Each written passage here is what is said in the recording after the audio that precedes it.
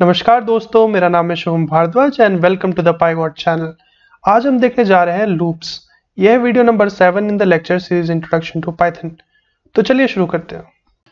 तो दोस्तों, आज हम सबसे ज़्यादा इंपॉर्टेंट लूप देखने जा रहे हैं पाइथन की, जिसका नाम है फॉर लूप तो दोस्तों, अभी मैं आपको एक छोटी सी एक्सरसाइज देता हूँ। आप प्रिंट करोगे ज़ीरो से फोर तक। तो जितना मैं आपको सिखाया, उसके हिसाब से आप यहाँ तक ही प्रिंट कर सकते हैं ना? ज़ीरो से फोर तक। तो इसको प्रिंट करके देख लेते हैं। ये आ गया ज़ीरो से फोर तक। लेकिन अगर मैं बोलूँ, भाई थाउज़ेंड तक प्रिंट करो तो आप क्या लिखोगे? फाइव सिक्स सेवन एट बहुत ज़्यादा हो जाएगा ये। तो फिर आप बोलोगे, भाई, कोई आसान तरीका बताओ इसका। इसका तरीका आसान करने का ये है, एक लूप यूज़ कर सकते हो आप। अब लूप होता क्या है? एक ही काम आप ज़िंदगी में बार बार करते रहते हो। सुबह उठते हो ब्रश करते हो ऑफ़िस जाते हो, फिर वापस आते हो, और फिर आप खाना खाते हो, फिर सो जाते हो। और फिर कल यही काम करोगे, अगले दिन यही काम करोगे। तो आपका काम, आपकी ज़िंदगी पूरे लूप में चल रही है। एक ही काम बार बार होता रहता है। तो लूप क्या होता है कि एक ही चीज़ को बार बार करना। ये हो गया लूप। दोस्तों हमें फॉर लूप की एक इंटरनल फंक्शनिंग देख लेते हैं कि फॉर लूप इंटरनली काम कैसे करती है। नॉर्मली साधारण रूप से पढ़ते हैं इसको। For I in range five print I जो भी काम आप करोगे फॉर लूप में आपको देखना पड़ेगा कि आप एक इंडेंट दो। तभी पाइथन को समझ में आएगा कि फॉर लूप के अंदर अगर मैं जाऊँगा तो ये वाले काम करने तो यहाँ पे काम क्या हो रहा है? यहाँ पे प्रिंट वाला का काम हो रहा है। और प्रिंट क्या कर रहे हैं हम यहाँ पे? एक वेरिएबल आई को प्रिंट कर रहे हैं। आप देख सकते हो ये वेरिएबल यहाँ पे भी लिख रखा है। अब ये आई जो वेरिएबल है, इसमें हमें कुछ तो वैल्यू देनी पड़ेगी, है ना? तो ये देने का काम कौन करता है? जैसे यहाँ पे आई इक्वल टू मेरे को कुछ तो भी देना पड़ेगा फाइव और फिर मैं तभी प्रिंट कर पाऊँगा आई को। नहीं तो बोलेगा, भाई आई कौन है? आई तो कोई भी नहीं है।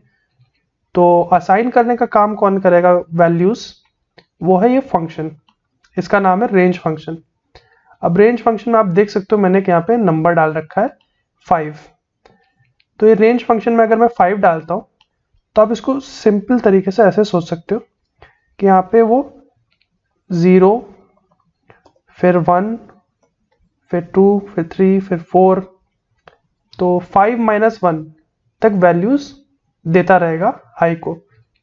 कैसे देगा वो? तो ऐसे देगा। पहले आई की वैल्यू ज़ीरो हो जाएगी। तो यहाँ पे देखो आई की वैल्यू ज़ीरो देगा ये। फिर वो आई को प्रिंट कर देगा। तो यहाँ पे ज़ीरो प्रिंट होगा। फिर क्या करेगा? एक वैल्यू बढ़ा देगा। आई की वैल्यू ज़ीरो से वन हो जाएगी। फिर वापस प्रिंट होगा। प्रिंट वन फिर अगली बार क्या करेगा वो? आई की वैल्यू टू कर देगा, फिर प्रिंट कर देगा। कब तक? लास्ट में आप देख सकते हो आई की वैल्यू फोर होती है, फिर आई प्रिंट हो जाता है।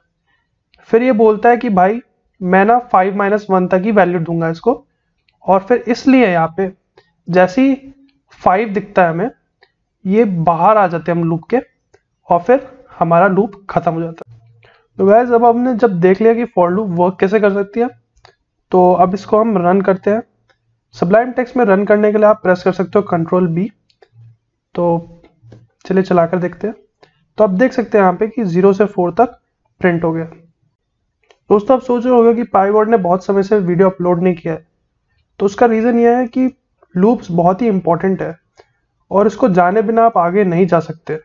तो इसलिए मैंने इंश्योर किया है कि आज मैं आपको जब लूप्स बताऊँगा तो एकदम ढंग से समझ में आना चाहिए आपके तो ठीक है, हमने अब ज़ीरो से तो प्रिंट करना स्टार्ट कर दिया। मान लो मेरे को फाइव से ही स्टार्ट करना है और मेरे को मान लो कोई नंबर है, जैसे फिफ्टी तक मेरे को प्रिंट कराना है। तो इसका सिंटेक्स क्या होगा, आप पूछोगे मुझसे ठीक है, मैंने बोला ठीक है आपको बताता हूँ। तो फाइव से आप स्टार्ट करना चाहते हो और फिर आप फिफ्टी तक जाना चाहते हो। तो मैं यहाँ पे लिख सकता हूँ फिफ्टी ठीक है? लेकिन आप बोलोगे, भाई, हम कहाँ तक जाते हैं? हम एन माइनस वन तक जाते हैं। जैसे वहाँ पे फाइव लिखा था तो फोर तक प्रिंट किया था। तो अगर मैं यहाँ पे फिफ्टी लिखूँगा तो कहाँ तक प्रिंट करेगा? फोर्टी नाइन तक।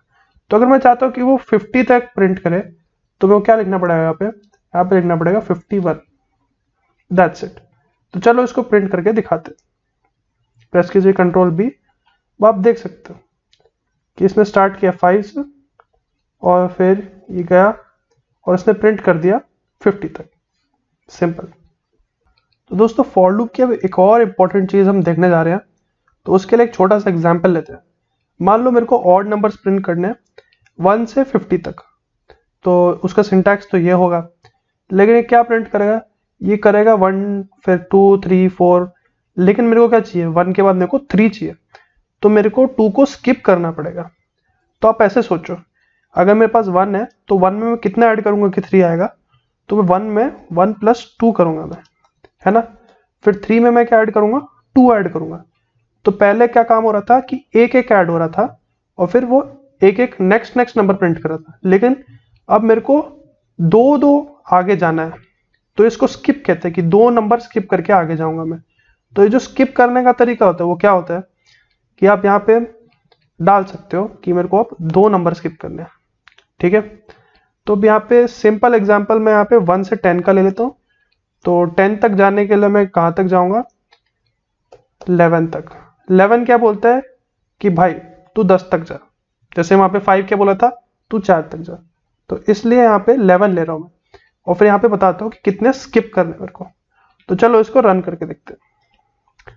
तो आप देख सकते हैं। कि वन के बाद दो स्किप किया थ्री गया, फिर दो स्किप किया फाइव एंड सो ऑन तो दोस्तों लास्ट चीज़ जो आज हम देखने वाले हैं, वो है फॉर लूप को रिवर्स में कैसे चला रहा तो एक छोटा सा एग्ज़ाम्पल लेते हैं। कोई भी स्पेस मूवी में आपने काउंटडाउन देखा होगा रिवर्स में टेन नाइन एट सेवन वो ज़ीरो तक चलता है। तो यही सेम काम हमें अगर फॉर लूप से करना है तो जितना मैंने आपको सिखाया उसके हिसाब से सोचते हैं।